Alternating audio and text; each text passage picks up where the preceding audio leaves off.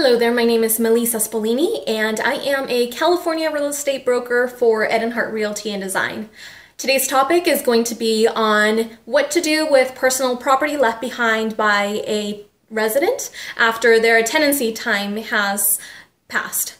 So um, there are a few things to note, but the very first step to take would be to determine whether those items are worth more or less than $700 as there may be a few extra steps if they are worth more than $700. So in either case, uh, we need to give notice to them. So in this notice, we need to include a few key things in here. So uh, item number one would be to give a description of the personal property that was left behind. It needs to be accurate enough so that they can identify what this personal property is that they left behind.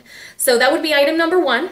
Uh, item number two would be the place that this personal property or items may be picked up at, as this may vary since they may not be at the home anymore. Maybe there's a new resident in there now. So uh, this is number two. So number three would be uh, letting that resident know that there may be reasonable storage costs uh, involved if we have to store these items for them. So of course these may vary uh, whether we store them for two days or 30 days, so that can change a little bit. So um, item number four would be the date uh, by when these items should be picked up by. So this is very important because uh, I would say consult uh, with your own attorneys because each state is different when it comes to this law. Uh, California tells us that uh, we need to keep them for these items for them for a minimum of 15 days if we personally delivered uh, this notice to those residents. So uh, that's 15 days at minimum.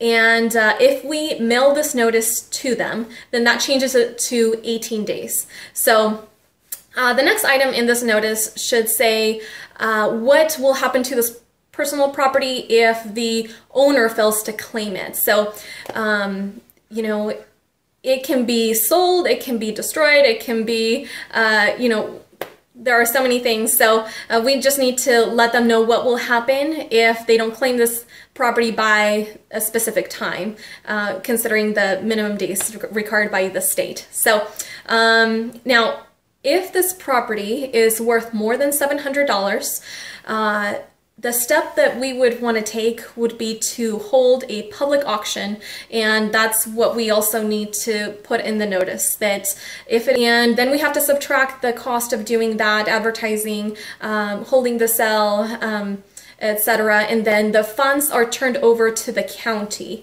Now, the resident has one year from the time the funds have been turned over to the county to reclaim that amount minus all the advertising costs and everything, of course, so that have already been taken out. So anyways, uh, I hope this covers it all and uh, uh, let me know if there's anything I missed or anything you want to add to it and uh, hope this was helpful. Until next time.